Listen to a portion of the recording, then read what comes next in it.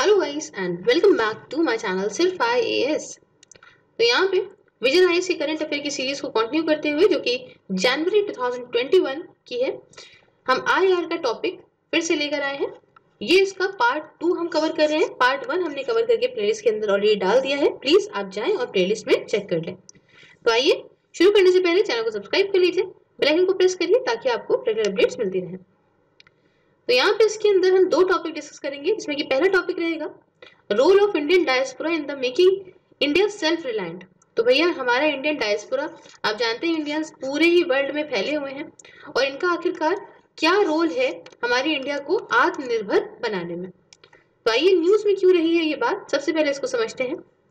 Recently क्या हुआ है बच्चों? सिक्सटीन प्रवासी भारतीय दिवस। कन्वेंशन हुआ है वर्चुअली न्यू दिल्ली में हुआ है, और इसका थीम यह रहा है कंट्रीब्यूटिंग टू आत्मनिर्भर भारत। ठीक है? कंट्रीब्यूटिंग टू आत्मनिर्भर भारत। जैसा कि हम सब देख रहे हैं भाई, आजकल क्या है? आत्मनिर्भर बनने की दौड़ चल रही है, और हमें इसमें सफल होने के लिए बहुत ही ज़रूरी है कि हम इसके लिए कदम उठाते रहें। तो ये है इसका कुछ थीम बहुत ही खूबसूरत थीम दिल से लगा के बात करिए तो मज़ा ही आ जाएगा।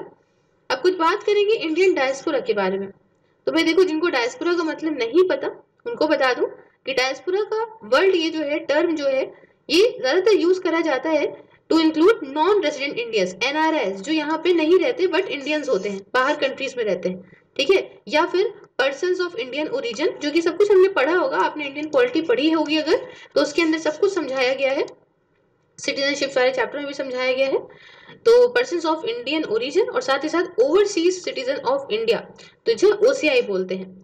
ठीक है, जिसमें कि जो पर्सन ऑफ़ इंडियन ओरिजिन है, और ये ओसीआई मतलब overseas citizen of India OCI card holders हैं, इनको एक कैटेगरी में 2015 में मर्ज कर दिया गया था। आपने सुना होगा, न खबर रही होगी अगर तो आपको पता होगा, और अगर नई खबर रहेगी तो जानिए 2015 में क्या हुआ था कि जो ओसीआई कार्ड होल्डर थे, उनके साथ साथ आपकी पी मतलब पर्सन ऑफ़ इंडियन ओरिजिन इन दोनों को मर्ज करके ओसीआई ही बना दिया था मतलब ओवरसीज सिटीजन ऑफ़ इंडिया ठीक है? तो ये पूरा का पूरा जो है डायस्पोरा का टर्म इसीलिए यूज़ करते हैं। और ब्रॉडली बताएँ आपको तो फॉर द इंडियन गवर्नमेंट मतलब हमारी भारतीय सरकार के लिए जो डायस्पोरा है, इसमें वो सारे लोग आते हैं जो या तो अपना ओरिजिन कहीं ना कहीं इंडिया से बिलोंग करते हुए कहीं ना कहीं अपनी ओरिजिन इनका इंडिया से हो, या आपके जो है, ऐसे इंडियन सिटीजन हो, जो अब्रॉड में रहते हो इधर टेम्परेरी या फिर परमानेंटली मतलब अब्रॉड में रहते हो, मौसी मौसा ज़रूर रहते होंगे, खासकर मम्मी की साइड वाले आपने देखे होंगे ज़रूर अब्रॉड में एक आध लोग रहते ज़रूर है। तो भाई वो जो है, वो अब्रॉड में रहते हो, या टेम्परेरी रहते हो परमानेंटली रहते हो। तो ये होते हैं डायस्पुरा का मतलब जैसे कि मैंने आपको समझाया। अब अभी की बात करें भाई, अभी क्या है स्टेटस इंडियन डायस्पोरा का? तो आपकी वर्ल्ड माइग्रेशन रिपोर्ट जो कि 2020 की है, उसके हिसाब से अगर देखें तो इंडिया लीडिंग कंट्री है of origin of international migrants ये 2019 में लीडिंग कंट्री रही है और इसमें कह रहे हैं कि भाई 17.5 मिलियन डायस्पोरा है हमारे पूरे वर्ल्ड में। समझ लीजिए हम कितने स्ट्रांग हो गए।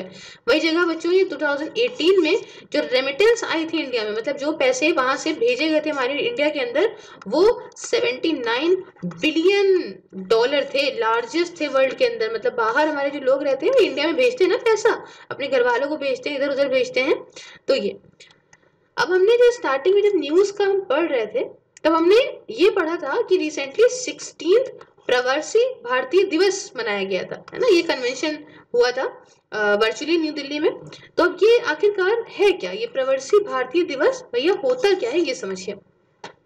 ये दो सालों में एक बार मनाया जाता है। ताकि हम जो ओवरसीज इंडियन कम्युनिटी है, जो हमारे देश से बाहर रहती है अलग अलग कंट्री में, हम उनके साथ जो है इंटरेक्ट कर सकें इंगेज कर सकें और वो जो है, हमारी सरकार के साथ इंगेज कर सकें। और एक बार अपनी जो जड़ें हैं उनसे एक बार को रिकनेक्ट कर सकें। कैसे भैया? अब उनको भी एहसास दिलाना पड़ेगा ना। अभी फला फला कंट्री में रहते हैं। हमारे इंडिया की सरकार अगर मान लीजिए, इनसे कभी बात ही ना करे, है ना? इनको कोई तवज्जो ना दे तो एक तरीके से भूल जाएँगे धीमे धीमे अपने घर वालों को भी अपने पास बुला लेंगे और यहाँ से सारा पैसा वैसा सब चला जाएगा और मुसीबत खड़ी हो जाएगी। इसलिए काफ़ी ज़रूरी है ना कि हमारे यहाँ की सरकार इनसे इंटरेक्ट करे। इनको भी लगे कि अरे हम इंडिया से बिलोंग करते हैं। हमारा देश इतना खूबसूरत है। हमारे को ये फ़ायदा देता है, वो फ़ायदा देता है। इतना, इतने अच्छे, जो है वो कस्टम्स है। तो ये सब अगर याद रहता रहता है तो इंसान अपनी जड़ों से जुड़ा रहता है। खैर, ये कब होता है प्रवासी ये जो दिवस है, ये आपका जो है वो नाइन्थ ऑफ़ जनवरी को जो है हुआ और ये इस दिन 1915 में हुआ था। जब महात्मा गांधी इंडिया वापस आए थे साउथ अफ्रीका से और इन्होंने जो हमारे देश का जो ये आंदोलन था, जो फ्रीडम स्ट्रगल था, उसे यहाँ पे लीड किया था। ठीक है तो इस वजह से यहाँ पे मनाया जाता है नाइन्थ ऑफ़ जनवरी को। अच्छा ये पीवीडी जो कन्वेंशन हुआ, ये प्रवृत्ति वाला जो कन्वेंशन हुआ सॉरी प्रवासी भारतीय दिवस वाला जो एक कन्वेंशन हुआ, इसने सेलेक्ट करा जो बड़े बड़े इंडियन डायस्पोरा मेंबर्स हैं एमिनेंट हैं जाने माने हैं, उनको यहाँ पे अवार्ड दिया गया इस प्रवासी भारतीय सम्मान अवार्ड्स के अंदर। ठीक है तो इससे थोड़ी इज़्ज़त वगैरह भी दी गई तो और ज़्यादा हमारा नाम हुआ, और ज़्यादा वो उनको बहुत अच्छा फील हुआ। अब देखिए मैंने अवार्ड्स के बारे में तो बता दिया। इन अवार्ड्स के बारे में और बताती हूँ कि प्रवासी भारतीय सम्मान अवार्ड्स आखिरकार क्या होते हैं। तो देखिए, ये हाईएस्ट ऑनर होता है, जो दिया जाता है एन को, ठीक है? एनआरआईएस को या फिर पी आई पी ओ आई को मतलब पर्सन ऑफ़ इंडियन ओरिजिन को, या आपके जो है सॉरी पी आई ओ है, यहाँ पे गलत लिखा हुआ पी आई ओ बोलते हैं पर्सन ऑफ़ इंडियन ओरिजिन और उसके बाद ऑर्गेनाइजेशन या इंस्टीट्यूशन को जो स्टैब्लिश और रन करी गई है किसी एनआरआई या फिर पीआईओ के द्वारा।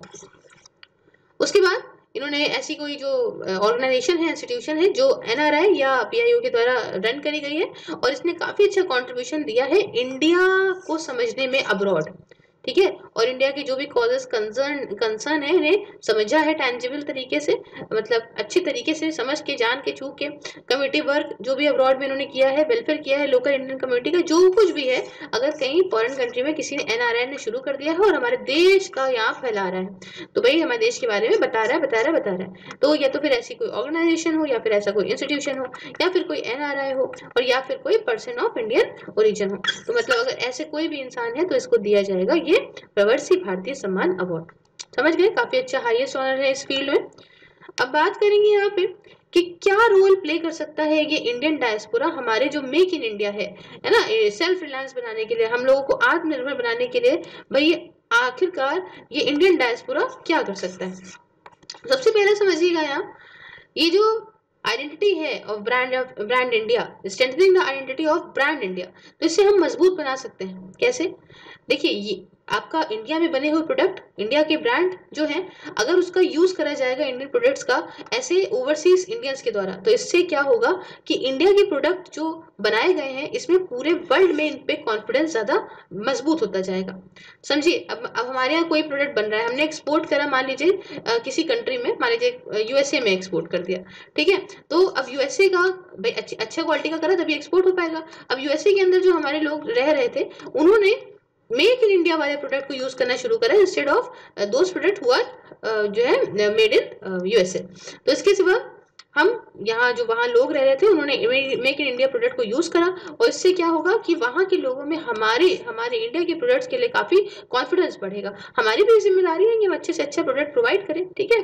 उसके साथ इससे क्या होगा इंटरेस्ट इंडिया के अंदर भी आएगा इंडिया के वैल्यूज़ के अंदर आएगा और इससे और डिमांड बढ़ेगी मेक इन इंडिया प्रोडक्ट्स के बारे में पूरे ही वर्ल्ड में। तो ये एक समझे ये एक फ़ायदा हो सकता है। दूसरा फ़ायदा ये हो सकता है assistance through sharing and expertise and knowledge अब ये क्या है?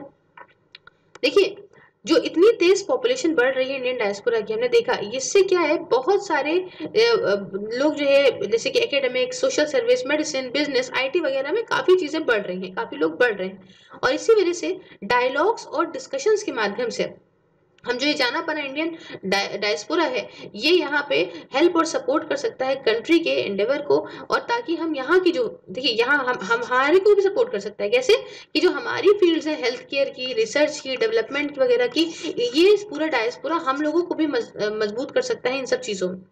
और साथ ही साथ क्योंकि देखिए, हमारी consumer due to familiarity familiarity with consumer markets abroad देखिए, अब वो वहाँ रह रहे हैं, ये है कंट्री अब हमारे इंडियन डायस्पोरा यहाँ रह रहा है तो यहाँ सालों साल से रह रहे हैं वो तो उसको यहाँ की मार्केट की भी अच्छी खासी नॉलेज हो गई। समझ रहे? तो इसकी अच्छी खासी नॉलेज होने की वजह से क्या होगा कि इंडियन डायस्पोरा अब यूनिक इंसाइट दे देगा इनटू कंज्यूमर बिहेवियर वो बताएगा कि भाई यहाँ का जो कंज्यूमर है, यहाँ भी जो इस कंट्री में फला फला कंट्री में लोग रहते हैं, आखिरकार वो किस तरह से प्रोडक्ट को चूज़ करते हैं, क्या उनका आखिरकार बिहेवियर है प्राइसिंग को लेकर प्रोडक्ट में चाहते क्या है? तो इससे क्या होगा कि हमारे यहाँ की जो कंट्री है, उन्हीं को ध्यान में रख के प्रोडक्ट्स को बनाना शुरू करेंगे। सो so दैट क्या होगा, उस पर्टिकुलर कंट्री में डिमांड और बढ़ती चली जाए हमारे यहाँ के प्रोडक्ट की। समझ गए इस बात को? बहुत ही समझ, समझा के मैंने बताने की कोशिश करी है। अब देखिए, कोविड 19 पेंडेमिक के टाइम पे इंडियन डायस्पोरा जो है काफ़ी अच्छे से हेल्थ केयर सिस्टम में एंगेज था बहुत सारी ऐसी फॉरेन कंट्रीज़ में। और ये सारे हेल्थ केयर स्पेशलिस्ट यहाँ पे हेल्प कर रहे थे इंडिया को कि हम जो है मज़बूत बना सकें अपनी स्ट्रेटेजी को ताकि हम हेल्थ केयर इमरजेंसी आगे आने वाले फ्यूचर में झेल सकें। तो ये एक फ़ायदा है। उसके बाद क्या कर सकता है Indian diaspora remittances aid in socio economic development अब भैया, देखो, ये साफ़ बात है कि हमारा देश हो गया है गरीब गरीब होता जा रहा है अमीर अमीर होता जा रहा है, कुत्ते पे बात करें तो गरीबी तो है ही है। अब इसमें क्या फ़ायदा कर सकता है इंडियन डायस्पोरा भैया, उसने यहाँ पे पैसा भेजा अपने परिवार वालों को। तो हमारे यहाँ की रेमिटेंसेस बढ़ी ना, पैसा हमारे यहाँ और बढ़ा। अब यहाँ पे वो लोग जो खर्चा कर रहे हैं, वो तो यहाँ पे खर्चा कर रहे हैं ना। तो हमारा प्रोडक्शन हमारा जब इकोनॉमी सर्कुलेट कैसे होती है? प्रोडक्शन बढ़ेगा क्योंकि डिमांड बढ़ेगी। ठीक है ना? तो ऐसा कुछ है। तो अब कंजम्पशन बिहेवियर यहाँ पे जब पैसा आएगा गाँव में जाएगा, भाई कोई बाहर चला गया और वहाँ से पैसा कमा कमा के गाँव में भेज रहा है तो इससे क्या होगा कि यहाँ के लोग पैसा खर्चा करेंगे, इनके कंजम्पशन बिहेवियर में चेंजेस आएँगे। तो इससे बहुत सारी जो फैमिलीज़ इंडिया की हैं, वो अब क्या करेंगे, सोचेंगे कि आओ भैया, बच्चों को अपने पढ़ा लें एजुकेशन दें स्किल डेवलपमेंट दें, ताकि वो और अच्छा जो है हमें कमा के दें। तो इससे क्या होगा ह्यूमन रिसोर्स हमारे देश के अंदर और भी बढ़ेगा। क्योंकि देखिए, जब पैसा होता है ना, तभी जो है वो लोग अपने बच्चों को पढ़ाना बढ़ाना सोचते हैं कर लें। बाकी सोचते हैं, अरे छोड़ो, कहीं लगवा दो, काम करेगा, पैसे देगा, है ना? तो भाई बाहर से पैसा आएगा जब पैसा होगा तो लोग इस तरफ़ ही जाना शुरू करेंगे। फिर क्या फ़ायदा हो सकता है? एंटरप्रेन्योरशिप यहाँ पे बढ़ सकती है। देखिए, यहाँ पे जो इंडियन डायस्पोरा है, ये ट्रांसनेशनल एंटरप्रेन्योरशिप को बढ़ा सकता है। कैसे? एंटरप्रेन्योर को सपोर्ट करके स्मॉल बिज़नेस को सपोर्ट करके इंडिया के अंदर। और कैसे सपोर्ट करोगे इंडिया के अंदर? ऐसे स्मॉल बिज़नेस को या एंटरप्रेन्योर्स को टेक्निकल टेक्निकल नॉलेज देके और साथ ही साथ फाइनेंस मतलब पैसा देके। तो ये एक फ़ायदा हो सकता है। उसके साथ क्या फ़ायदा हो सकता है? सिक्योर इन्वेस्टमेंट फ्लोज अब इसे देखिए इंडियन डायस्पोरा क्या कर सकता है? काफ़ी अच्छे से इन्फॉर्म होते हैं। इंडिया की मार्केट कंडीशन के बारे में इनको पता होता है।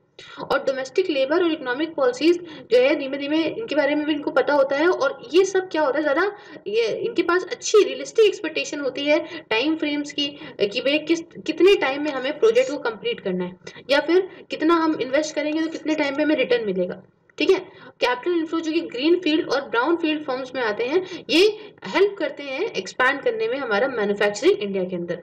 तो ये कुछ फ़ायदा है आपका इन्वेस्टमेंट वगैरह अच्छे से फ्लो हो सकती है इन्वेस्टमेंट फंसेगी नहीं इन्वेस्टमेंट जो है, किसी का जो है पैसा वैसा नहीं फंसेगा।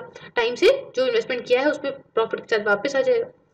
फिर एक ये भी प्रॉफिट हो सकता है डायस्पोरा डिप्लोमेसी देखिए इंडियन डायस्पोरा काफ़ी ज़्यादा फाइनेंशियल और पॉलिटिकल एफ्लुएंस पाता है अब्रॉड में। है ना? तो ये अच्छे खासे क्या कर सकते हैं? ये पोटेंशियली लॉबी कर सकते हैं अपनी सरकार को वहाँ पे, ताकि भाई स्ट्रॉन्गर पॉलिटिकल और बिज़नेस अलायंसेस करें इंडिया के साथ में। देखिए, वहाँ पे भी ये कमा रहे हैं, वहाँ पे भी ये थोड़ा मज़बूत उन्होंने पैर जमा रखे हैं। तो वहाँ की भी सरकार जो है, वो भी इनको चाह रही है। तो भैया देखो, ये क्या करते हैं? ऐसा कुछ करेंगे कि जिससे यहाँ पे ऐसा अलायंस बने जो हमारी इंडिया की सरकार के साथ भी बने। ठीक है? कि भैया फ्रीक्वेंट विजिट्स भी होने लग जाए, दोनों के बीच में कॉन्फ्रेंसेस भी हों गवर्नमेंट लेवल पे या इंडस्ट्रीज़ में। तो इससे क्या होगा कि हम ये लोग ब्रिज का काम कर सकते हैं दो लोगों को जोड़ने में, है ना? बिचौलिया का काम कह लीजिए। तो ब्रिज भी बन जाए, यार, आप कह सकते हैं, दो लोगों को जोड़ने का काम कर लें। उसके साथ मीडिएटर मैंने बताया ना मीडिएटर बन सकते हैं। उसके बाद भाई फैसिलिटेटर बन सकते हैं। ये समझ रहे ना, काफ़ी अच्छा ये रह सकता है इंडिया की नेशनल सिक्योरिटी इकोनॉमिक इंटरेस्ट के लिए। क्योंकि भाई, अगर यहाँ का डायस्पोरा तारीफ़, अगर आप सपोज़ करिए कि आपका ये है फ्रेंड ठीक है? अब ये आपका फ्रेंड है, उसके साथ साथ ये इसका भी फ्रेंड है। अब ये इसके घर में रहता है एक फ्लैट के अंदर, ठीक है? अब ये इससे अगर आप इसको तारीफ़ करें, भाई तो बहुत अच्छा है। भाई ब्रो है, भाई, मेरी भाई के पास बहुत है, भाई के पास ऑडी है, भाई के पास बंगला है। तो क्या होगा, इसके दिमाग में भी एक तरह से होगा, जाओ भाई से बात कर लेते हैं। तो ये आएगा, भाई से बात करेगा और इन दोनों के रिश्ते बड़े अच्छे हो जाएँगे। तो ये क्या है, ये मीडिएटर का काम करे ना बीच में। तो यही डायस्पोरा भी हमारे लिए काम करेगा। अब वो सब तो ठीक है, लेकिन भाई इसके साथ साथ कुछ कंसर्न्स भी हैं। ऐसा नहीं है, सिर्फ़ खुशियाँ हैं, खुशियों के साथ कुछ गम भी होते हैं और पहला ये रेगुलेटरी हर्डल्स जैसे कि इतने खतरनाक नॉर्म्स हैं, अगर आपको किसी एनआरआई वगैरह को नई फर्म यहाँ पे इशू नई फर्म स्टैब्लिश करनी है तो इससे काफ़ी कॉम्प्लेक्स से नॉर्म्स है। उसके साथ फॉरेन डायरेक्ट इन्वेस्टमेंट जो एफडीआई लिमिट वगैरह लगाई गई है, ये दिक्कत है। ठीक है, इससे क्या होता है कि ईज ऑफ़ डूइंग बिज़नेस नहीं हो सकता और इसलिए इन्वेस्टमेंट यहाँ पे सही से लग नहीं पाती, आ नहीं पाती। दूसरी दिक्कत ये है कि limit limited scope of interaction देखिए, ज़्यादातर जो आपके आउटरीच हैं मतलब ज़्यादातर जो है, वो फोकस करते हैं इंडियन डायस्पोरा जो कि आपका डेवलप कंट्री का। हम लोग क्या, ज़्यादातर ऐसे इंडियन डायस्पोरा पे ध्यान देते हैं जो डेवलप कंट्री के हैं। जैसे कि आपकी यूएसए में जो लोग रहते हैं यूके में जो लोग रहते हैं, उन सब पे हम ज़्यादा ध्यान देते हैं। लेकिन अगर हम उन पर ध्यान दें, जो जो लोग हमारे साउथ अफ्रीका में रहते हैं south east Asia ASEAN nation वगैरह में रहते हैं तो अगर हम इन पे दें तो ज़्यादा हमें मिलेगा, क्योंकि इनके पास अभी बहुत सारा ऐसा अनएक्सप्लोर्ड रिसोर्स है जो हमने नहीं करा है। लेकिन हम उधर की तरफ़ जा रहे हैं तो ये एक दिक्कत है। क्या? आगे बढ़ेंगे और जानेंगे सरकार आखिरकार क्या एफर्ट ले रही है ऐसे इंडियन डायस्पोरा के साथ इंगेज होने में। तो सरकार देखिए, पहला तो मैंने अभी जो हम लोग डिस्कस कर रहे हैं, वही हो गया आपका। प्रवर्सी रिश्ता पोर्टल भी है। इन्होंने प्रवर्सी रिश्ता पोर्टल सॉरी ग्लोबल प्रवर्सी रिश्ता पोर्टल लेकर आई है। और ये क्यों स्टैब्लिश करा गया है?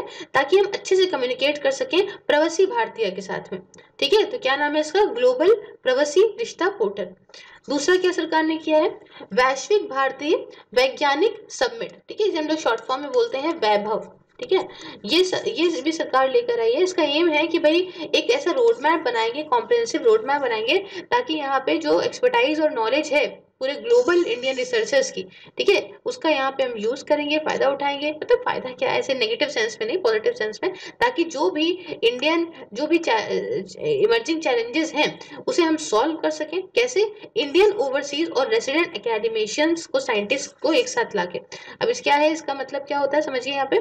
देखिए, हम क्या करेंगे? जो हमारे इंडिया के जो आपके इंडियन ओवरसीज हैं ठीक है जो जो हमारे इंडिया से बाहर रहते हैं फॉरेन कंट्रीज़ में जो हमारे लोग रहते हैं इंडियंस रहते हैं, उनको और जो भी रेसिडेंट अकेडमिशियंस हैं या साइंटिस्ट वगैरह हैं तो इन सबको एक साथ लेकर आएँगे और इससे क्या होगा कि हम जो अभी चैलेंजेस फेस कर रहे हैं, उसका एक सोल्यूशन निकालेंगे। समझ रहे क्यों? क्योंकि देखिए, पूरे वर्ल्ड की नॉलेज और एक इंडिया की नॉलेज डिफरेंस आएगा। पूरे वर्ल्ड में जितना जितने जहाँ जहाँ से पढ़ा है, वो सब हमारे लिए नॉलेज उनकी काम आएगी।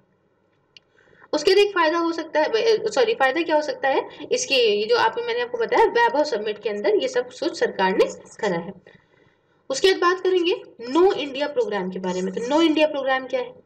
देखिए मिनिस्ट्री ऑफ़ एक्सटर्नल अफेयर ने यहाँ पे तीन हफ्तों का एक ओरिएंटल ओरिएंटेशन प्रोग्राम लाया था। किस लिए लाया था? सब डायस्पोरा यूथ के लिए लाया था, जो कि इस मुद्दे से ये चीज़ दिमाग में रख के कंडक्ट कराया गया था कि हम awareness different different facets of life की इंडिया के अंदर जो भी है, उसके बारे में पूरे वर्ल्ड में अपने डायस्पोरा को ये अवेयरनेस करेंगे। ठीक है इससे क्या होगा? कंट्री जो है, ने क्या फेस करा है, कैसी प्रोग्रेस करी है अलग अलग फ़ील्ड में, ये सब हम यहाँ पे बताएँगे। तो इससे क्या होगा कि हमारे देश के प्रति जो लोग हैं, हमारे इंडियंस हैं, जो हमारा इंडियन डायस्पोरा है, उस, उसके मन में और चीज़ें पॉजिटिव पॉजिटिव भरेंगे। उसके बाद फिर सरकार लेकर आई थी प्रवर्सी कौशल विकास योजना। जिसे हम लोग कहते हैं पी के वी वाई है प्रवर्सी कौशल विकास योजना, ये स्किल डेवलपमेंट स्कीम है, जो कि मिनिस्ट्री ऑफ़ एक्सटर्नल अफेयर्स की, याद रखिएगा मिनिस्ट्री ऑफ़ एक्सटर्नल अफेयर्स की है। एम ये है कि हम यहाँ पे जो स्किल सेट करी गई है स्किल जो सेट करी गई है पोटेंशियल इमिग्रेंट वर्कर्स की। देखिए एमिग्रेंट और इमिग्रेंट का डिफरेंस समझिएगा। जहाँ पे ये आई एम होता है तो यहाँ पे समझ इमिग्रेंट का मतलब होता है जब बाहर से कोई हमारे यहाँ आता है, ठीक है? जो हमारे यहाँ काम करने आ जाए भाग के आ जाए, कुछ भी कर ले, ठीक है? लेकिन जब हमारे यहाँ से कोई बाहर जाता है तो उसको एमिग्रेंट बोलते हैं ई एम आई क्लियर है? तो यहाँ समझिएगा कि कहना चाहते हैं कि स्किल डेवलपमेंट स्कीम है ये Pravasi Kaushal Vikas Yojana ministry of external affairs की। एम ये है कि जो एमिग्रेंट हैं, जो बाहर गए हैं हमारे, उनकी जो स्किल है, उसे हम और तरीके से इन्हांस कर सकते हैं। कुछ सिलेक्टेड सेक्टर्स में और जॉब रोल्स में। इस तरीके से ताकि हम इंटरनेशनल स्टैंडर्ड को मैच करें, ताकि ये लोग बाहर जाएँ और इंटरनेशनल इंटरनेशनल कहीं पे भी, किसी भी कंट्री में जॉब भी करें। समझ रहे ना? एम्प्लॉयमेंट उनको आसानी से मिल जाएगा। तो भैया हमें यहाँ पैसे भेजेंगे, हमें यहाँ फ़ायदा देंगे। और आखिरी में क्या एक दे सकता है फ़ायदा? कि भैया देखो फ़ायदा क्या है? सॉरी सरकार ने एक और चीज़ शुरू करी है, वो ये कम्युनिटी वेलफेयर फंड्स तो ये भी सरकार ने शुरू करे हैं। तो नेशनल लेवल पे क्या किया गया है बच्चों? इंडिया ने यहाँ पे ऐसे funds community welfare funds type के जो है वो इस्टेब्लिश कर दिए हैं, जो बहुत छोटी सी फ़ीस लेंगे कुछ सर्विसेज़ प्रोवाइड करेंगे और सपोर्ट करेंगे इंडियन नेशनल को, जो भी आपके क्राइसिस सिचुएशन में बाहर अब्रॉड फंस गए हैं उनको। क्लियर है? ये सारे जो फंड्स है, ये भाई अच्छा खासा इमरजेंसी केसेस वगैरह में अगर कुछ है तो मेरे काम आएगा। और जो भी है रैपिड रिस्पॉन्स देने के लिए काफ़ी काम आएगा। ठीक है? तो ये कुछ है बातें हैं। उसके बाद आखिरी में वे फॉरवर्ड क्या ये बात कर लेते हैं तो इंडियन जो डायस्पोरा का रोल है हमारे डेवलपमेंट में हमें आत्मनिर्भर बनाने में ये और चीज़ों से कुछ इन्हांस हो सकता है। जैसे कि पहला ये कि यहाँ पे इंफॉर्मेशन कैंपेन चलाया जाए। देखो इन्फॉर्मेशन कैंपेन कैसे? उनको पता होना चाहिए कि हमारे देश में क्या है इन्वेस्टमेंट अपॉर्चुनिटीज़ हैं कितना फ़ायदा मिल सकता है क्या नहीं मिल सकता है। तो जो डायस्पोरा है उसको यहाँ पे एजुकेट करने के लिए यहाँ पे एजुकेट करने के लिए आ, कि क्या इन्वेस्टमेंट अपॉर्चुनिटीज़ है इंडिया के अंदर ठीक है? तो क्या कौन से ऐसे इन्वेस्टमेंट चैनल्स हैं जिसके लिए आप इन्वेस्टमेंट कर सकते हो? तो ये सब कुछ के लिए हम यहाँ पे क्या करेंगे? इन्फॉर्मेशन कैंपेन चलाएँगे ताकि वो जो बाहर के लोग हैं वो हमारे यहाँ पैसा इन्वेस्ट कर सकें। दूसरा और क्या हो सकता है? डिस्कशन वगैरह करा जा सकता है, ताकि पब्लिक पॉलिसी को इंडिया के अंदर जो भी है उसको इन्फॉर्म कर सके। कैसे कर सकते हो आप डिस्कशन आप रीजनल या सेक्टोरल ग्रुप बनवा लीजिए एडवाइसर्स का, ठीक है इंडियन डायस्पोरा से। तो आप इससे क्या होगा? किसी डिस्कशन वगैरह हो जाएगा वहाँ पे। तीसरा क्या हो सकता है? Focusing on engaging growing diaspora in emerging countries देखिए कुछ कंट्रीज़ आप डेवलप्ड कंट्रीज़ पे ध्यान दे रहे हैं, बहुत अच्छी बात है, लेकिन सिर्फ़ डेवलप्ड पे ध्यान मत दीजिए। कुछ कंट्रीज़ जैसे कि साउथ अफ्रीका उसके साथ South East Asian ASEAN nations वगैरह, ये सब इमर्जिंग कंट्रीज़ हैं। तो इन सब पे भी ध्यान देना बहुत ज़्यादा है ज़रूरी और इन पे भी फोकस करने की बहुत ज़्यादा है आवश्यकता। उसके बाद आती है improving ease of doing business कैसे कर सकते हैं? आप ये जो डायस्पोरा है, इसको स्पेसिफिकली आप इनेबल करो कि ये अपने ऑपरेशंस जो है, अपना काम धाम जो है, अपनी फर्म्स अपनी फर्म्स वगैरह का इंडिया में फैलाए, ठीक है? तो इससे हमको यहाँ पे बहुत अच्छा फ़ायदा मिल सकता है। फिर आता है साउथ एशिया एनर्जी सिक्योरिटी का टॉपिक अब ये न्यूज़ में क्यों रहा है, पहले समझिए। देखिए, एक हाई लेवल ग्रुप यहाँ पे मदद करेगा एक अच्छा साउथ एशिया फोकस करता हुआ एनर्जी सिक्योरिटी आर्किटेक्चर बनाने में। और इसका नाम क्या है? सेज इसका फुल फॉर्म समझाती हूँ आपको। फुल फॉर्म कहता है कि South Asia group for energy तो ये है ये ऐसा हाई लेवल ग्रुप और उसको सेटअप करा गया है मिनिस्ट्री ऑफ़ एक्सटर्नल अफेयर्स के द्वारा। तो इस वजह से ये रहा है न्यूज़ में। आगे कुछ बात इसके बारे में करेंगे कि आखिरकार ये सेज क्या है। तो देखिए, ये एक कंसोर्टियम है। मतलब एक कंसोर्टियम का मतलब होता है जब कई ग्रुप ऑफ़ कंपनीज़ एक साथ आती हैं और कुछ अपना जो भी पर्पस है उसे पूरा करने के लिए। तो एक कंसोर्टियम है एनर्जी सेक्टर के एक्सपर्ट्स का, जिसमें यहाँ पे पार्टनरशिप रहेगी आपके साउथ एशिया की सरकारों के साथ में गवर्नमेंट के साथ में और एक अच्छा एक अच्छा सस्टेनेबल एनर्जी डेवलपमेंट करा जाएगा इसके थ्रू साउथ एशिया रीजन में। इतनी बात समझ में आई? अब इसके अंदर कंसोर्टियम के अंदर कौन कौन होगा? देखिए, एक तो यूएस एआईडी होगा, उसके साथ United States Department of Energy होगा, उसके साथ तीन बड़ी बड़ी लेबोरेटरीज हैं नेशनल लेवल की, जो कि पहली है लॉरेंस बार्कले नेशनल लेबोरेटरी दूसरी है नेशनल रिन्यूएबल एनर्जी लेबोरेटरी और तीसरी है Pacific North West National Laboratory तो ये कुछ लेबोरेटरीज हैं इसके अंदर। और ऑब्जेक्टिव अगर आप कहें कि इसका उद्देश्य क्या है तो बच्चे ये है कि देखिए रिसर्च वगैरह करेंगे, है ना? एनालिसिस वगैरह करेंगे, पूरी तरीके से ऐसी रिसर्च और एनालिसिस जो होगी, वो एनर्जी सेक्टर में जो भी अपॉर्चुनिटीज़ है, उसको फोकस करती रहे हुई होंगी हमारे साउथ एशिया रीजन में। उसके साथ ये यहाँ पे U S A I D के साथ जो है इक्विप करके चलेंगे, है ना? पार्टनर गवर्नमेंट है ये। है इसमें क्या है कि इसमें विद क्रिटिकल इन्फॉर्मेशन और ताकि इससे क्या होगा कि यहाँ पे स्ट्रेटेजिक इन्वेस्टमेंट और बढ़ेगा। उसके साथ ये कंट्रीब्यूट करेंगे टुवर्ड्स जो हमारे गोल्स हैं Asia enhancing growth and development through energy के। ठीक है, ये क्या है? एशिया एज इसको बोलते हैं। और ये एशिया एज जो है, ये यूनाइटेड स्टेट की सरकार का इनिशिएटिव है। ये सपोर्ट करने के लिए ग्रोथ जो कि सस्टेनेबल और सिक्योरिटी सॉरी सिक्योर करने के लिए एनर्जी मार्केट जो पूरा ही इंडो पैसिफिक रीजन है, उसके लिए एक इनिशिएटिव चलाया है यूनाइटेड स्टेट की सरकार ने। उसका नाम क्या है? एशिया एज ठीक है इसके गोल्स वगैरह पूरा करने के लिए भी काफ़ी ज़्यादा मददगार साबित होगा। अब आप कहेंगे कि, मैम, आखिरकार क्या ज़रूरत है? है ना? आखिरकार ज़रूरत क्या है इस एनर्जी कोऑपरेशन की हमारे साउथ एशिया के रीजन में? तो भाई, बहुत ज़रूरत है। ज़रूरत इसलिए है कि पहली बात तो ये कि देखिए एनर्जी और डिमांड जो है हमारे पास मतलब जो एनर्जी की डिमांड है और जो हमारे पास रिसोर्सेज हैं इन साउथ एशियन कंट्रीज़ में, ये काफ़ी ज़्यादा यहाँ पे मिसमैच देखने को मिलता है। कहीं पे एनर्जी ज़्यादा है डिमांड कम है, कहीं पे डिमांड ज़्यादा है एनर्जी कम है। तो ये एक डिफरेंसेस है, जैसे बड़ी बड़ी कंट्रीज़ में आपको बताना चाहती हूँ, हमारी इंडिया हो गई, उसके साथ पाकिस्तान हो गई, उसके साथ बांग्लादेश हो गई तो ज़्यादातर जो शेयर है यहाँ इस रीजन का नेचुरल गैस का या कोल का, वो हम ही लोगों के यहाँ पाया जाता है। बट यहाँ पर इतनी बड़ी कंट्री होने के साथ में यहाँ पॉपुलेशन ज़्यादा है और डिमांड भी बहुत ज़्यादा है। उसके बाद अगर हम दूसरी कंट्रीज़ की कुछ बात करें, जैसे कि भूटान और नेपाल की बात करें छोटी छोटी कंट्रीज़ हैं, इनके पास क्या है? इनके पास हाइड्रो पावर जो है हाइड्रो पावर पोटेंशियल बहुत ज़्यादा है। मतलब पानी के थ्रू जो है इलेक्ट्रिसिटी बनाई जाती है हाइड्रो पावर पोटेंशियल इनके पास बहुत ज़्यादा है। बट यहाँ पर उनके पास इतनी डिमांड नहीं है। डिमांड से ज़्यादा एक्सेस है उनके पास इन चीज़ों का। ठीक है तो ये क्या कर सकते हैं? ये कुछ इंट्रा रीजन कुछ इंटर रीजन में ये इधर से उधर ट्रांसफ़र कर सकते हैं अपनी एनर्जी को, ठीक है? तो इससे ये, इनकी भी फ़ायदा है और जो अगल बगल वाली कंट्री है, उसका भी फ़ायदा है। उसके बाद ये क्या कर सकते हैं? इकोनॉमीज को इकोनॉमीज ऑफ़ स्केल को हेल्प कर सकते हैं एनर्जी प्रोक्योरमेंट में। जैसे कैसे आपको बताती हूँ कि जो रीजनल रीजनल एनर्जी ट्रांसफ़र होगा मतलब एक रीजन से दूसरे रीजन में जो एनर्जी को ट्रांसफ़र करा जाएगा, इससे क्या होगा कि कंट्री जो दूसरी कंट्रीज़ इनको ज़रूरत है एनर्जी की, उनका जो है वो और प्रिक्योर कर पाएँगे, उनके पास अच्छे रिसोर्सेज आ पाएँगे बाहर से, हम अपने रीजन के बाहर से। तो इंट्रा हो, चाहे इंटर हो मतलब आपस में या एक से दूसरी कंट्री में हो, अगर ये ऐसा जो है एनर्जी ट्रांसफ़र होगा तो काफ़ी हेल्प करेगा ये इकोनॉमीज ऑफ़ स्केल को। साथ ही साथ देखा जाए तो भाई, हमारे पास काफ़ी सारे ऑप्शंस भी हो जाएँगे एनर्जी लेने के। अब जो दे रहा है, उसके वाले भी फ़ायदा है, जो ले रहा है, उसको भी काफ़ी फ़ायदा है।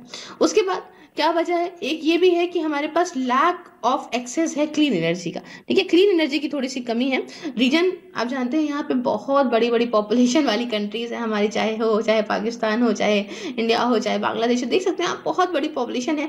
और उसके साथ क्या है कि यहाँ पे क्लीन फॉर्म ऑफ़ एनर्जी बहुत कम देखने को मिलती है। तो जो बड़ा ही सेक्शन जो है, एक पॉपुलेशन का पर्टिकुलरली जो गाँव में लोग रहते हैं, जो रूरल एरियाज़ में रहते हैं, उनके पास आप जानते हैं इलेक्ट्रिसिटी की बहुत ज़्यादा कमी है। ठीक है?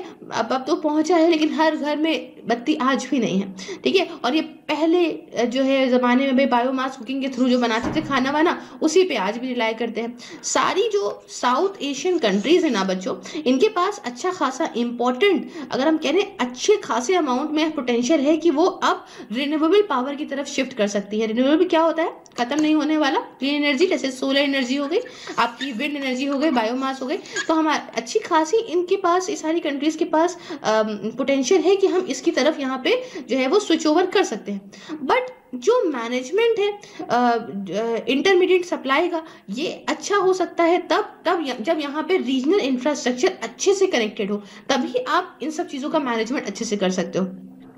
तो ये भी एक यहाँ पे जो है वो वजह है। उसके बाद आती है भाई India's energy cooperation with other South Asian countries. अब देखिए जो हमारी, हमारा इंडिया है, उसका जो एनर्जी कॉपरेशन है है ना, हम किसके साथ यहाँ पे बना के चलते हैं? तो यहाँ पे हमारा इंडिया का जो एनर्जी कॉपरेशन है, दूसरी कुछ साउथ एशियन कंट्रीज़ के साथ, वो आपको इसके अंदर बताना चाहूँगी मैं।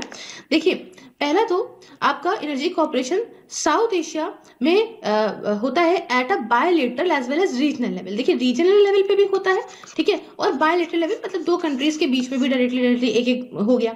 बट बायोलेटरल जो एनर्जी कॉपरेशन होता है वो ज़्यादा अच्छा होता है ज़्यादा सक्सेसफुल होता है ठीक है? पर्टिकुलरली अगर इंडिया और दूसरे साउथ एशियन कंट्रीज़ के बीच में होगा तो ये काफ़ी ज़्यादा अच्छा होगा कंपेरेटिवली टू रीजनल उसके साथ समझ है ना? इंडिया का अगर हम साउथ एशियन कंट्रीज़ को लेके बताएँ तो देखिए किस तरह से क्या हो रहा है, हम समझाते हैं आपको। अब दूसरा क्या है?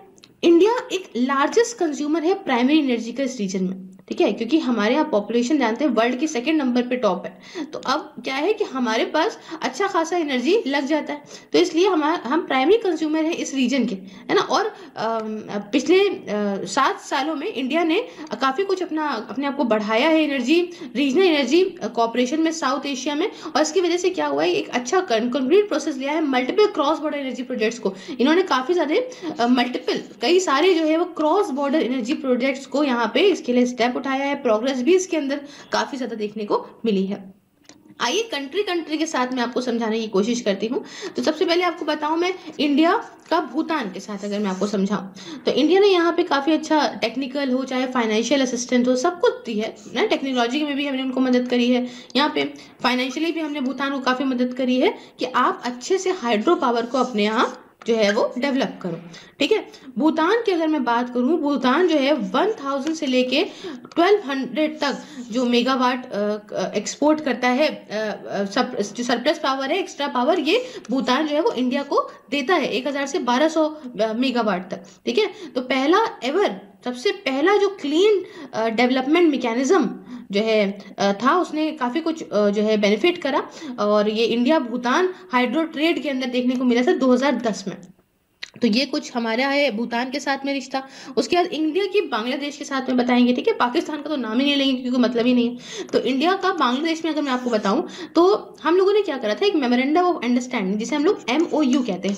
उसको साइन करा गया था, जिसके अंदर क्या था कि हंड्रेड मेगावाट के पावर जो है, वो भूटान को सॉरी ये पावर को जो है, वो एक्सपोर्ट करी। Power will be exported to Bangladesh, है ना? मतलब जो है, आपकी हंड्रेड मेगावाट जो पावर है, वो एक्सपोर्ट करी जाएगी किसको? बांग्लादेश को। छोटी कंट्री है मदद करते हैं वहाँ पे। तो ये हमने बांग्लादेश की इसके साथ मदद करी। फिर हम इंडिया को नेपाल के साथ बताते हैं क्या सीन है।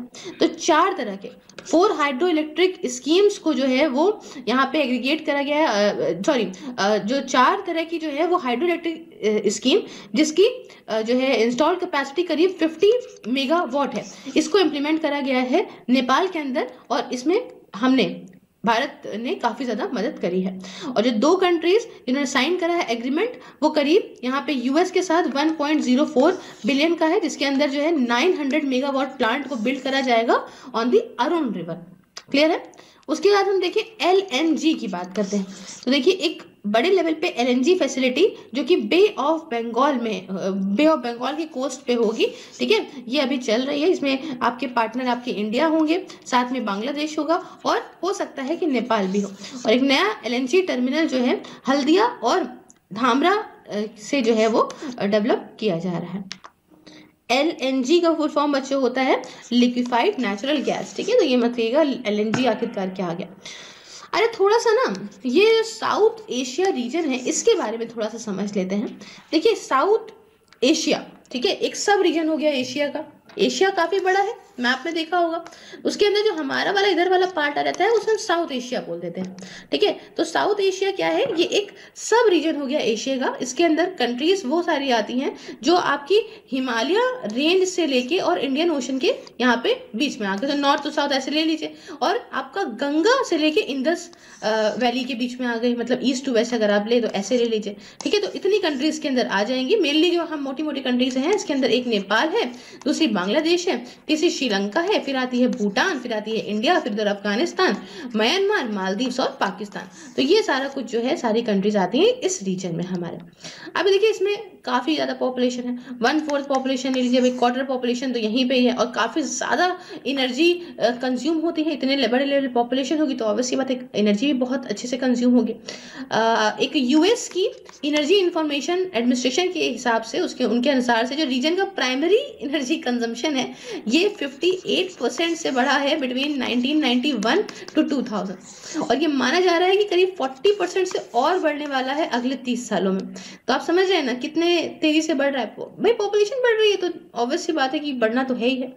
और अगर इतना कुछ यहाँ पे हमें जो प्रोजेक्टेड डिमांड है, जो आने आगे वाले समय में हमें पता है कि भाई डिमांड और बढ़ेगी, अगर उसे पूरा करना है तो अकेले दम पे कुछ नहीं होगा। इसमें नेशनल सॉरी इंटरनेशनल और रीजनल कॉपरेशन करना ही पड़ेगा। चाहे वो टेक्नोलॉजी की फ़ील्ड में हो इंफ्रास्ट्रक्चर डेवलप करने की बात हो, या एनर्जी के ट्रेड की बात क्यों ना हो। तो ये कुछ साउथ एशिया का रीजन के बारे में मैंने आपको बताई बात।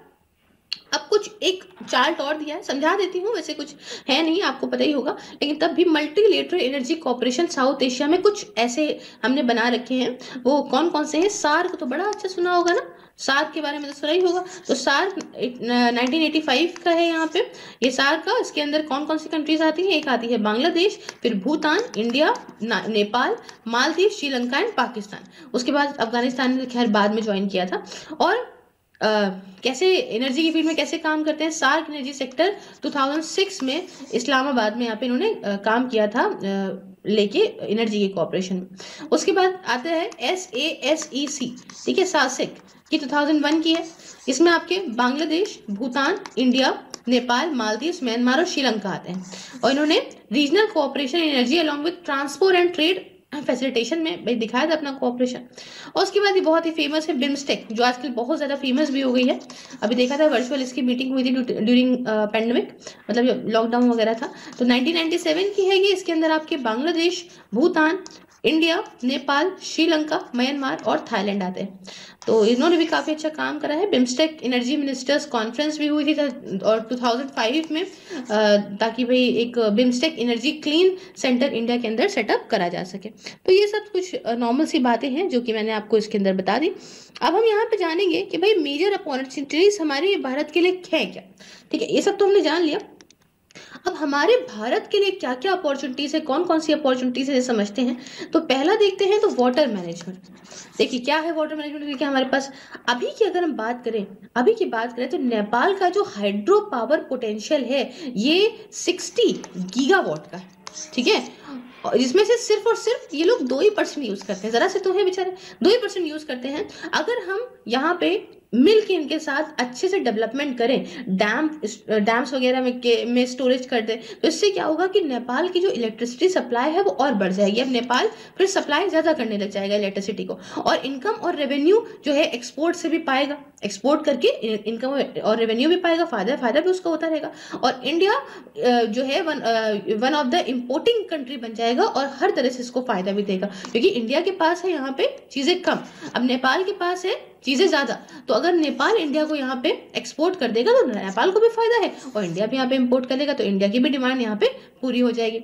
समझ रहे एग्ज़ाम्पल आपको समझा दी हूँ। तो एक प्रपोज प्रोजेक्ट है। प्रोजेक्ट का नाम है सप्त कोशी और सन कोशी प्रोजेक्ट जो कि कोसी रिवर पे रहेंगे। ठीक है? कोसी रिवर पे रहेंगे। यहाँ पे ये आप, जो है, सौरव बिहार भी इसको बोलते हैं। तो कोसी रिवर पे रहेंगे। इससे हाइड्रो पावर को जनरेट करा जाएगा और इससे क्या होगा? जो भी फ्लड्स आते हैं, आप जानते हैं ना, ये जितना बिहार के रीजन में बड़ा ही धमाका करके चली जाती है कोसी। क्योंकि भाई इसका रीजन है कोर्स बार बार बदलती है वो अपना। और अगर आपने पढ़ा होगा जोग्राफी में तो क्या है सेडिमेंट्स लाती है, बार बार जब कोर्स बदलता है किसी भी रिवर का तो उससे क्या होता है कि फ्लड्स आने के चांसेस बढ़ते हैं। तो इसीलिए वो सौरव बिहार भी कहलाती है। क्वेश्चन अगर आता है, कभी छोटे मोटे एग्ज़ाम में तो बता दीजिएगा।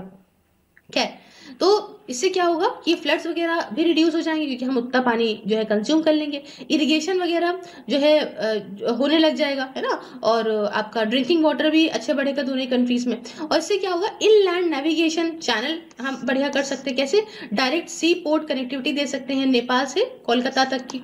और यहाँ पे जो है, ऐसा कर सकते हैं दोनों कंट्रीज़ में आराम से चीलों के काम हो जाएगा। अब दूसरी बात क्या हो सकती है? दूसरी यहाँ पे शेयर जो कि आपका लिक्विफाइड नेचुरल गैस का है, ये यहाँ पे जो है वो बढ़ सकता है प्राइमरी एनर्जी मिक्स कैसे? देखिए इंडिया ने कहा है प्रपोज करा है कि भाई देखो, हम यहाँ पे एक्सपैंड करना चाहिए जो नेचुरल गैस का शेयर है। ठीक है इसकी प्राइमरी एनर्जी प्रोफ़ाइल में नेचुरल गैस का शेयर अभी यहाँ पे सिक्स परसेंट है, अब हमें बढ़ा के इसको पंद्रह परसेंट फिफ्टीन परसेंट कर देना चाहिए। तो एक ट्रायलेटरल पार्टनरशिप ट्रायलेटरल पार्टनरशिप किसके बीच में होगी? एक बांग्लादेश होगा, एक इंडिया होगा और एक नेपाल होगा। इनमें एक ट्रायलेटर मतलब होता है तीन कंट्री के बीच में। तो ट्रायलेटरल पार्टनरशिप करी जाए, इससे क्या होगा कि इससे एक अच्छी, एक शेयर्ड पाइपलाइन बीच में बिछाई जाए, ठीक है? पाइपलाइन बढ़िया बिछाई जाए टर्मिनल्स वगैरह और गैस स्टोरेज फैसिलिटी वगैरह जो है यहाँ पे पूरी फैला दी जाए। इससे क्या होगा कि जो आ, कमी है आपकी आ, आपकी जो एनर्जी वगैरह की वो सबको सारी कंट्रीज़ को मिल जाएगी और इससे इकोनॉमिक वायबिलिटी इन सारे इन्वेस्टमेंट्स वगैरह की भी यहाँ पे जो है बढ़ेगी और साथ ही साथ यहाँ पे रीजन जो है वो नेट ज़ीरो पाथवे की तरफ़ भी बढ़ जाएगा। ठीक है अब एक दूसरे से मिलकर काम करोगे तो भाई ऑब्वियसली बात है कि चाहे जो भी हो, यहाँ पे हर एक फ़ील्ड में जहाँ पे एक्सपैंड होने लग जाएगी चीज़ें और एक दूसरे की मदद होने लग जाएगी तो जो उनके पास है उनके पास आया जो उनके पास है उनके पास आया जो उनके पास है उनके पास आया, ठीक है? पैसा भी आ रहा है, सब कुछ आ रहा है। उसके बाद इंडिया के लिए एक अपॉर्चुनिटी क्या है कि यहाँ पे enhancing the share of renewable electricity अब यहाँ पे इसे समझिएगा। श्रीलंका जो है, अभी पूरी तरह से रिलाय करता है, वो इम्पोर्ट करता है फॉसिल फ्यूल्स को, ठीक है? बाहर से इम्पोर्ट करता है फॉसिल फ्यूल को और यहाँ पे डोमेस्टिक हाइड्रो पावर और जो प्लांट्स हैं, वो यहाँ पे 100 परसेंट इलेक्ट्रिसिटी जनरेट करते हैं through renewable by 2050 Sri Lanka currently relies on important fossil fuels and domestic hydro powers and plans to generate 100 percent electricity through renewables by 2050 अभी क्या है? इससे जैसे क्या होगा? इससे इन्वेस्टमेंट अपॉर्चुनिटी आएगी ताकि डेवलप हो सकता है utility scale wind and solar for the Indian private sector देखिए, आसान शब्दों में समझाते हैं, श्रीलंका अभी क्या करता है? पूरा पूरा फॉसल फ्यूल जो है वो इंपोर्ट करता है, ठीक है? अभी क्या कर सकता है? अभी ये सोच रहा है कि हम क्या करेंगे? प्लान करेंगे कि भैया हम हंड्रेड परसेंट इलेक्ट्रिसिटी जो है वो रिन्यूएबल्स एनर्जी के थ्रू अब अपने यहाँ जो है वो जनरेट कर लें और ये मानता है 2050 तक हमें ऐसा करना पड़ेगा। तो इसके लिए क्या होगा? इससे हमारे को काफ़ी अच्छी इन्वेस्टमेंट अपॉर्चुनिटी बनेगी। इस इस इन, इस फ़ील्ड में हम जो है इन्वेस्टमेंट करें तो हमको फ़ायदा होगा जैसे आपको समझाते हैं कि जो मिशन ट्रांसमिशन लिंक है between India and North West Sri Lanka ठीक है, इसे डेवलप करने से क्या होगा कि इससे काफ़ी अच्छी विंड पावर जो है वो कॉम्प्लीमेंट होगी इंडियन सोलर पावर के साथ में। इंडियन सोलर पावर के साथ में विंड पावर यहाँ पे मिल जाएगी। तो ये हमें फ़ायदा हो सकता है अगर हम इस तरीके से काम करें।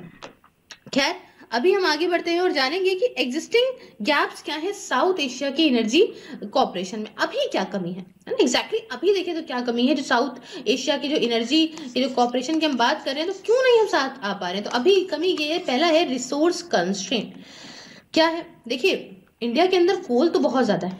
बांग्लादेश और पाकिस्तान जो है, ये भाई while coal in India Bangladesh and Pakistan is an abundant बहुत ज़्यादा हमारे यहाँ, चाहे इंडिया पाकिस्तान हो, चाहे हो, आपका बांग्लादेश कोल अच्छा खासा है। तो ये इट बट ये यहाँ पे फ्यूल फ्यूचर के लिए नहीं हो सकता।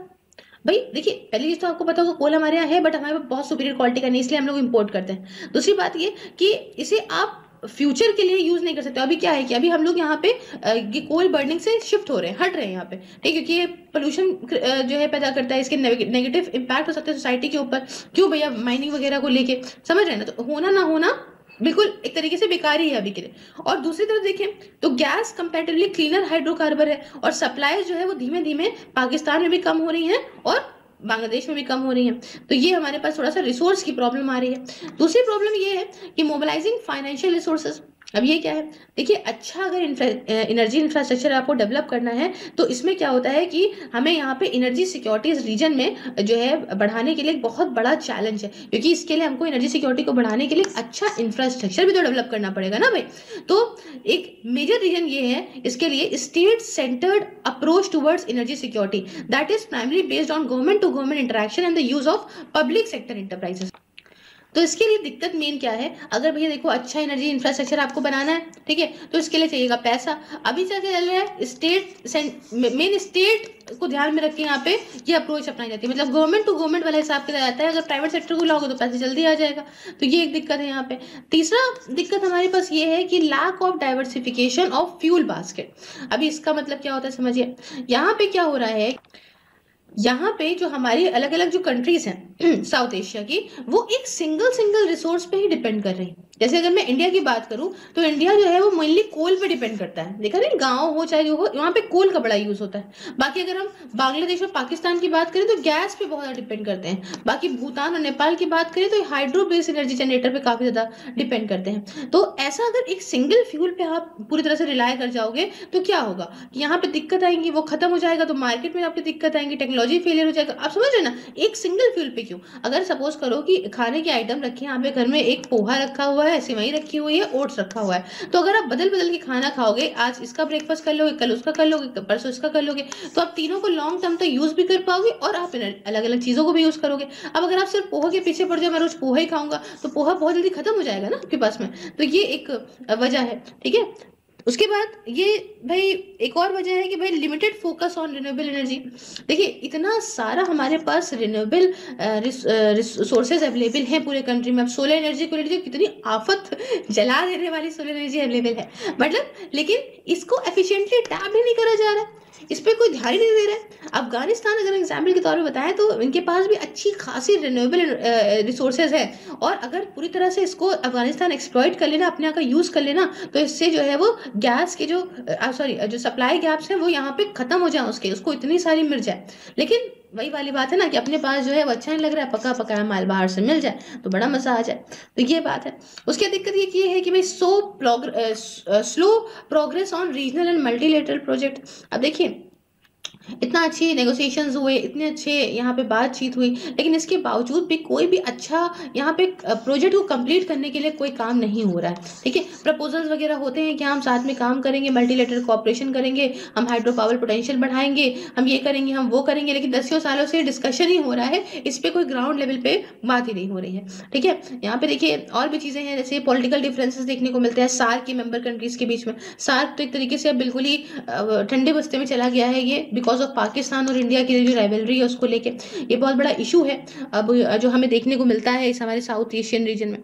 खैर एक बॉक्स यहाँ पे अगर आप देख सकते हैं तो आइए आपको ये वाला हम बॉक्स एक्सप्लेन कर देते हैं। रीजनल प्रोजेक्ट्स अंडर कंसिडरेशन है ना? तो क्या, कौन से रीजनल प्रोजेक्ट है? कंसिडरेशन में चल रहे हैं जो, एक है आपका बहुत ही इंपॉर्टेंट और बहुत ही पॉपुलर तापी गैस पाइपलाइन ठीक है? तो तापी पाइपलाइन क्या है? इसका एम है कि गैस वगैरह को ये ट्रांसफ़र करेगी फ्रॉम तुर्कमेनिस्तान के जो गल किनिश फ़ील्ड है, वहाँ से लेके अफ़गानिस्तान अफ़गानिस्तान से आपका पाकिस्तान उसके बाद फिर यहाँ पे ये इंडिया के अंदर आएगी। समझ रहे प्रोजेक्ट माना गया था कि 2019 तक कंप्लीट हो जाएगा बट कंस्ट्रक्शन uh, जो पाइपलाइन का है लेकिन अभी तक स्टार्ट भी नहीं हुआ। कह कह रहे थे कि 2019 तक कंप्लीट हो जाएगा। अभी तक कंस्ट्रक्शन भी स्टार्ट नहीं हुआ है और एफर्ट्स लिए जा रहे हैं कि भैया पैसा वगैरह आए तो पैसे से करें। अब पाकिस्तान से होकर आएगा तो बीच में टेररिस्ट तो खाए जाएँगे। खैर उसके बाद एक है Bangladesh Bhutan India Nepal B V I N joint working groups तो ये क्या है? इनका एम ये है कि हम एक साथ मिलके कोशिश करेंगे कि हम हाइड्रो इलेक्ट्रिक पोटेंशियल जो कि है, आपका गंगा ब्रह्मपुत्रा वाले, गंगा ब्रह्मपुत्रा और मेघा, मेघना रीजन का। ठीक है? गंगा ब्रह्मपुत्रा और मेघना रीजन का जो हाइड्रो पावर पोटेंशियल है, हम उसको यहाँ पे निकालते हैं और ये ये सारी चार कंट्री शेयर कर रही हैं इन सब रिवर्स को। तो इनसे हम निकालेंगे और इसीलिए यहाँ पे अभी तक अभी तक हम बताएँ तो अभी तक यहाँ पे चार मीटिंग्स हो सक, हो चुकी हैं इन ज्वाइंट वर्किंग ग्रुप के बीच में। लेकिन हाइड्रो पावर के इशू वगैरह को लेकर बात हुई है है ना? और वाटर रिसोर्सेज को लेकर भी काफ़ी डिस्कस करा गया है इसके अंदर। तो ये कुछ बातें हैं जो हमने करी इसके अंदर। अब हम यहाँ पे बात करने जा रहे हैं आखिरी कंक्लूजन की। तो भाई कंक्लूजन में बस यही कहना चाहूँगी कि साउथ एशिया का जो ये साउथ एशिया के जो नेशंस हैं, इन्हें यहाँ पे देखना होगा कंपेरेटिव एडवांस देखना होगा कि भैया, हमारे पास क्या है, आपके पास क्या है, हम किस चीज़ में अच्छे हैं, आप किस चीज़ में अच्छे हैं। ठीक है अलग अलग एनर्जी सेक्टर्स में हमें यहाँ पे देखना होगा और उसके साथ हमें यहाँ पे एक साथ काम करना होगा ट्रेड लिंक्स में। ऐसे खाली बातें करने से कुछ नहीं होगा। और इंडिया यहाँ पे बड़ी कंट्री है लीड कर सकता है फाइनेंसिंग के फ़ील्ड में भी। ठीक है अच्छा खासा टेक्निकल रेगुलेशंस भी, उसके साथ प्रोफेशनल नेटवर्क भी यहाँ पे मदद कर सकता है रीजनल बिज़नेस अपॉर्चुनिटीज़ भी दे सकता है इंडिया और अच्छा खासा कॉपरेशन जो अगर होता है इन सारे लोगों के बीच में तो इससे एक डिसेंट्रलाइज एनर्जी सोल्यूशन निकलेगा मतलब एक कंट्री दूसरी कंट्री की मदद करेगी। ज़रूरी नहीं होगा एक जगह पर ही काम हो अलग अलग जगह काम हो सकता है। और इससे आसपास की कंट्रीज़ यहाँ पे जब उनके पास डिमांड पूरी होगी तो पीस और डेवलपमेंट का जो है यहाँ पे माहौल भी बनेगा। तो ये यहाँ पे होता है हमारा कंप्लीट अब नेक्स्ट उसमें मिलते हैं नेक्स्ट पार्ट में आई आर कंप्लीट करेंगे। तब तक के लिए if you like the video please like the video share with your friends subscribe your channel सिर्फ़ आयस and if you want to follow me on any of the social media platform just follow the link giving the description box if you want to watch this videos on Facebook just like the page सिर्फ़ आयस and watch this videos there also along with this you want to join my membership just press the join button and enjoy the various books thank you so much for discussion wonderful day take care